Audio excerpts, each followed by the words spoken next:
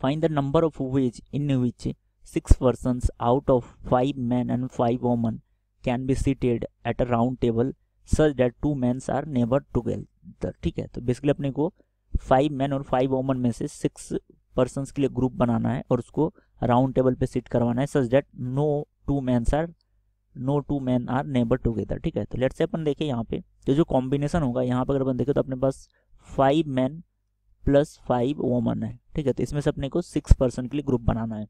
तो पॉसिबिलिटी क्या क्या है? पॉसिबिलिटी है यहाँ पे कि अपन फाइव सारे के सारे मैन ले और वन वोमन ले। ठीक है तो ये भी क्या आ गया अपने पास? ये भी सिक्स लोगों के लिए टीम हो गई।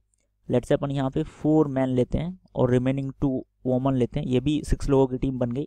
यहाँ पे थ्री मैन ले प्लस थ्री वोमन ले। ये भी सिक्स लोगों की क्या आ गई अपने पास टीम आ गई। और नेक्स्ट केस अपन लेते हैं लेट से फोर मैन और टू सॉरी, यहाँ पे टू मैन और फोर वोमन ठीक है? तो मैन को अपन डिक्रीज कर रहे हैं।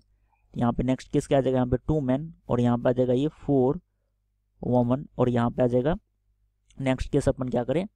वन मैन और सारे के सारे वोमन ले लें, ठीक है? तो फाइव वोमन ठीक है? तो अब इसमें से अपने को कौन सा केस फेवरेबल होगा वो अपने को काउंट करना है, ठीक है? केस कौन से करना है? इनको इन छह लोगों की जो टीम बन रही है, इनको राउंड टेबल पे बिठाना है such that no two mans are neighbour together ठीक है? तो two man are neighbour together अगर अपन देखें मिनिमम टू मैन तो होने ही चाहिए। तो मिनिमम टू मैन होने चाहिए और वो एक साथ ना बैठे। तो कंडीशन क्या आ जाएगा? Minimum such that no two man are neighbour together अब इसमें से अगर अपन देखें तो ये टोटल कितने? फाइव केसेस है। तो इनमें से जो फ़र्स्ट केस है, उसमें क्या है? उसमें अपन ने टीम बनाई है फाइव मैन और वन वोमन की। तो इसको अगर अपन राउंड टेबल पे सेट कराएँ तो दो मैन एडजस्टेंट आ जाएगा। तो ये केस फेवरेबल केस नहीं है, ठीक है? फोर मैन और टू वोमन वाले केस में भी अगर अपन देखें, दो मैन दो वोमन को अगर अपन राउंड टेबल पर बिठाएँगे तो अपने पास दो गैप्स होंगे और दो गैप्स में अगर अपन फोर मैन को सेट करवाएँगे तो दो मैन जो है वो एडजस्टेंट आ जाएगा, ठीक है?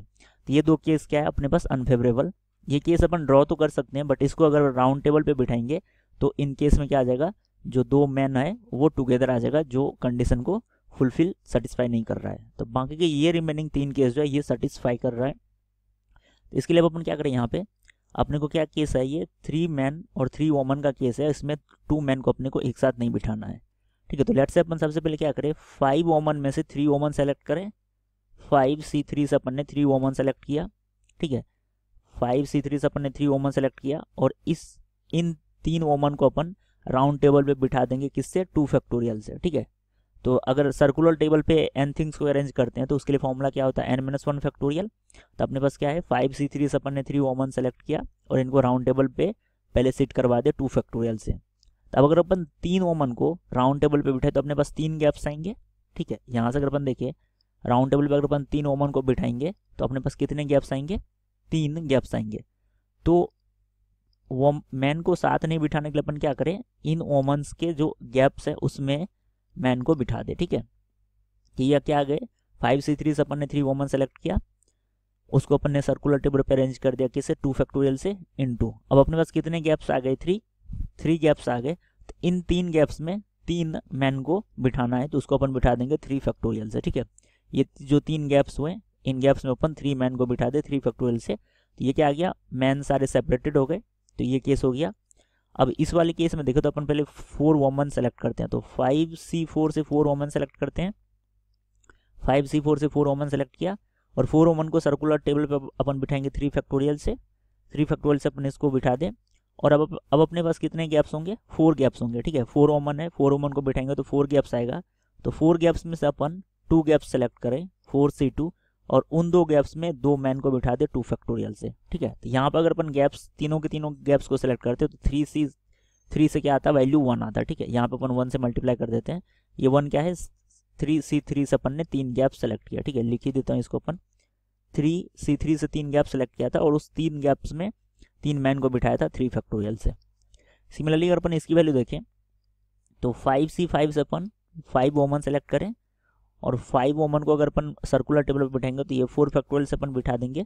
एन माइनस वन फैक्टोरियल से अरेंज करते हैं सर्कुलर टेबल पे एन थिंग्स को। तो दिया जाएगा फोर फैक्टोरियल तो वोमन को अपन ने सर्कुलर टेबल पे अरेंज करवा दिया। अब अपने पास कितने गैप्स होंगे? फाइव गैप्स तो फाइव गैप्स में से कोई भी एक गैप सेलेक्ट करें फाइव सी वन से, और उस वन पे एक मैन को बिठा दे वन फैक्टोरियल से। तो ये अपने पास टोटल नंबर ऑफ़ केस हो जाएगा फॉर द गिवन सिचुएशन अगर अपन यहाँ पे इसको सॉल्व करेंगे तो ये वैल्यू आ जाएगा फाइव सी थ्री की वैल्यू होती है अपने पास फाइव सी थ्री की वैल्यू हो जाएगी five into four divided by two तो ये आ जाएगा टू टेन तो फाइव सी थ्री की वैल्यू क्या हो जाएगी टेन तो ये आ जाएगा अपने पास टेन इंटू टू फैक्टोरियल की वैल्यू टू और थ्री सी वन की वैल्यू क्या हो जाएगी वन और थ्री फैक्टोरियल की value six plus five C four की वैल्यू क्या हो जाएगी फाइव इंटू थ्री फैक्टोरियल की वैल्यू क्या हो जाएगी सिक्स फाइव सी फोर की वैल्यू फाइव और थ्री फैक्टोरियल की value six into four C two की वैल्यू हो जाएगी फोर सी टू की value four into three divided by two तो फोर सी टू की वैल्यू क्या होती है? सिक्स इंटू टू फैक्टोरियल की value two, plus five C five की वैल्यू क्या? वन,